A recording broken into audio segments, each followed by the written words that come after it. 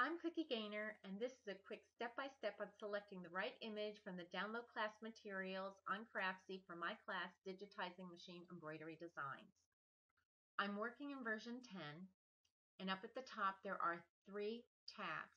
The same type of tab system is used in version 9 and if you're working on an earlier PE design then simply look it up in your manual and you want to look up the word image.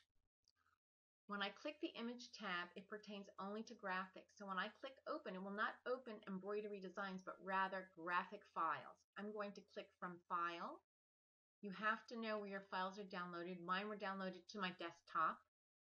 And then I created a small folder and I called it DMED, the abbreviation. I'll double click. And once I unzip my files, it will open up, and this is a small representation Artwork for all file types is what you need for your graphics for all the lessons.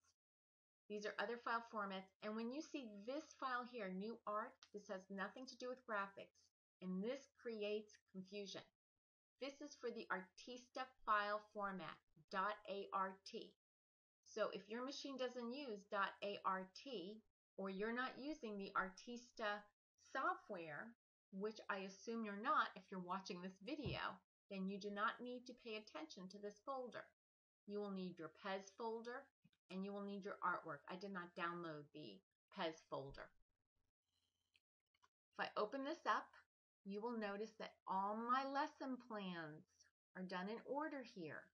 So if you're looking for the shaded flower, lesson 8, just come down here and click on this and it will appear. If you like to have this done more as icons in Windows, then that's a Windows function and you would just change that over here. I prefer details.